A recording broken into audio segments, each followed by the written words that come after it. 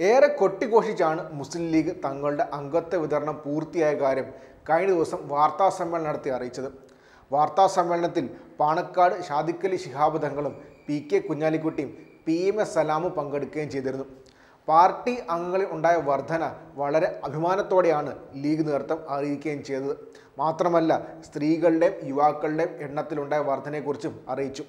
എന്നാൽ ആഘോഷവും സ്വയം പുകഴ്ത്തലും വീരവാദവും കഴിഞ്ഞ് കഴിഞ്ഞ ദിവസം തങ്ങളുടെ പാർട്ടി അംഗത്വ ലിസ്റ്റ് പരിശോധിച്ച് മുസ്ലിം ലീഗ് നേതൃത്വം ആകെ ഒന്ന് ഞെട്ടി. കാരണം മറ്റൊന്നുമല്ല. സമൂഹത്തിൽ അറിയപ്പെടുന്ന ചില വ്യക്തികൾ തങ്ങളുടെ പാർട്ടി അംഗത്വം സ്വീകരിച്ചിരിക്കുന്നു. ഇത് എങ്ങനെയാണെന്ന് നേതാക്കൾക്ക് പോലും ഒരു പിടിയും കിട്ടിയിട്ടില്ല. ആ അംഗങ്ങൾ ആരാണെന്ന് കേട്ടാൽ പ്രേക്ഷകരായ നിങ്ങളും ഒന്ന് ഞെട്ടും.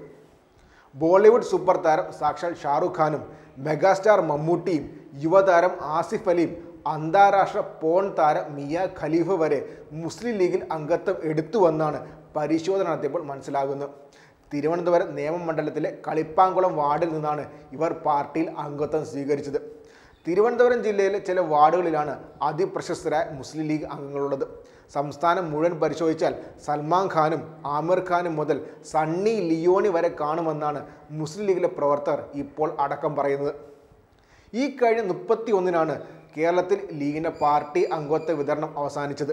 വീടുകൾ തോറും കയറി ഇറങ്ങി പാർട്ടി അംഗത്വം എടുക്കാനാണ് നേതൃത്വം നിർദ്ദേശിച്ചത്. ഇങ്ങനെ അംഗങ്ങളാകുന്നവരുടെ പേരും ആധാർ നമ്പരും തിരിച്ചറിയൽ കാർഡ് നമ്പരും ഫോൺ നമ്പരും അപ്ലോഡ് ചെയ്യണം. ഇതിനെല്ലാമായി ഓരോ വാർഡിനും ഓരോ പാസ്വേഡ് നൽകിയിരുന്നു. പിന്നീട് ഇത് തുറന്ന് പരിശോധിക്കാൻ കോഴിക്കോടുള്ള ഐ ടി കോർഡിനേറ്റർക്ക് മാത്രമേ സാധിക്കുകയുള്ളൂ. ഇങ്ങനെ ഓൺലൈൻ വഴി അംഗത്വം എടുത്തവരുടെ പട്ടിക പരിശോധിച്ചപ്പോഴാണ് പാർട്ടി നേതൃത്വം ഒന്നടങ്കം ഞെട്ടിയത്. പാർട്ടി അംഗങ്ങൾ തന്നെയാണ് സാധാരണ അംഗത്വ വിതരണം നടത്തിയത്.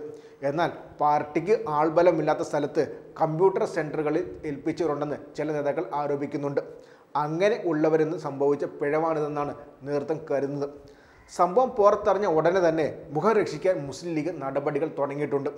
സംഭവം ശ്രദ്ധയിൽപ്പെട്ടെന്നും അന്വേഷണത്തിന് നിർദ്ദേശം നൽകിയിട്ടുണ്ടെന്നും ലീഗ് സംസ്ഥാന വൈസ് പ്രസിഡന്റും തിരുവനന്തപുരം ജില്ലാ റിട്ടേണിംഗ് ഓഫീസറുമായ സി പി ബാവ ഹാജി പറഞ്ഞു.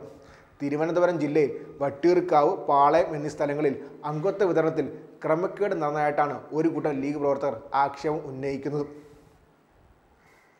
ഡിസംബർ മുപ്പത്തി ഒന്നിന് പാർട്ടി അംഗത്വം പൂർത്തിയായപ്പോൾ തലസ്ഥാനത്ത് തിരുവനന്തപുരം ജില്ലയിൽ അൻപത്തി ഒൻപതിനായിരത്തി അഞ്ഞൂറ്റി അൻപത്തി ഒന്ന് പാർട്ടി അംഗങ്ങളുണ്ട് എന്നാണ് ഔദ്യോഗികമായ കണക്ക്.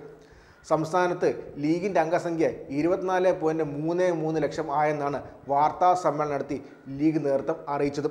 രണ്ടായിരത്തി പതിനാറിനേക്കാൾ രണ്ട് പോയിന്റ് മൂന്ന് മൂന്ന് ലക്ഷം അംഗങ്ങളുടെ വർധനയാണ് എന്ന് ലീഗ് ഊറ്റം കൊള്ളുകയും ചെയ്യുന്നുണ്ട്.